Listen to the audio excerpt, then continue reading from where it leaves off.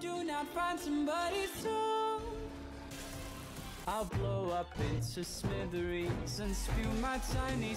이번 주제는 좀 색다른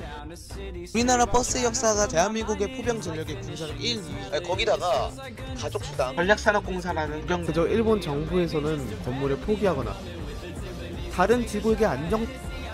하지만 북한 지역 내 라면의 심가 상식 라면의 면왜 일본의 활약 활을... 아와 어, 러시아 간의 전쟁 시청자 여러분 안녕하십니까 상시 배그를 물다 센서 스입니다